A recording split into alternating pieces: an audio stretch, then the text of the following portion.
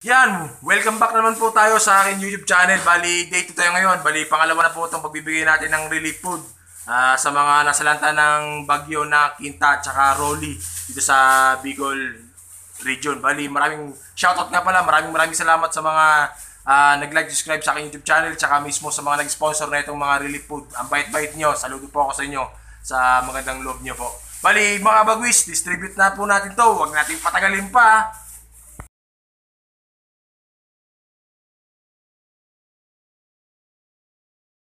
Bali ka bagwis, mamimigay ulit tayo ng mga relief food. Ayan. Okay. Mother.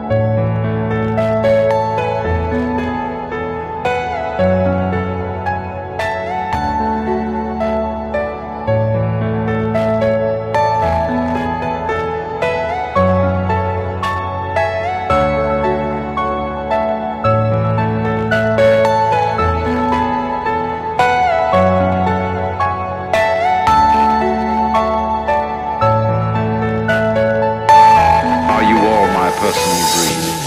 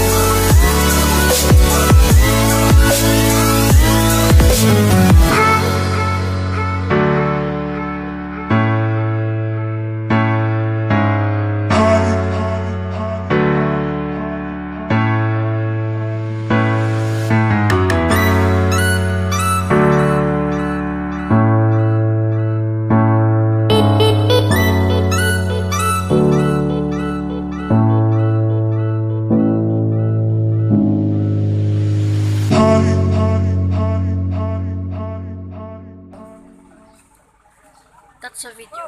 Natapik. Video.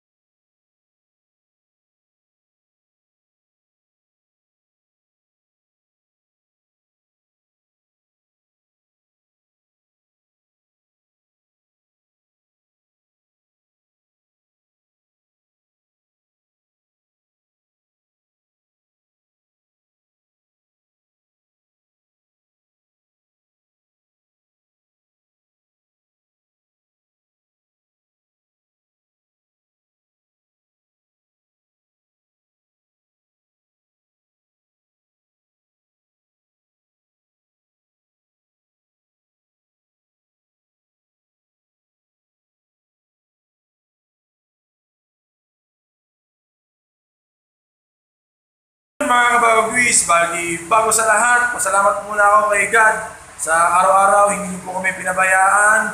At shoutout ko nga po pala ang mismong nag-sponsor ng mga relief food namin na pinamigay sa mga nasalanta ng bagyong Rolly at Quinta. At mga kabagwis, maraming maraming salamat sa mga nag-like subscribe sa aking YouTube channel. Huwag niyo kalimutan pindutin ang notification bell para ma-update kayo sa aking YouTube video. Pakishare na po itong mga video mga kabagwis. Bari, hindi lang po po yan mga kabagwis. Marami pa po tayong pamimigay at i-share po natin itong mga blessing po dito sa ating mga kababayan na nabagsakan ng bahay, nagibaan ng bahay, uh, lumubog yung bahay nila sa baha. At mamimigay pa rin po tayo ng relief food pack para sa mga kababayan natin na sa lanta. Yun lang po mga kabagwis. Maraming maraming salamat po.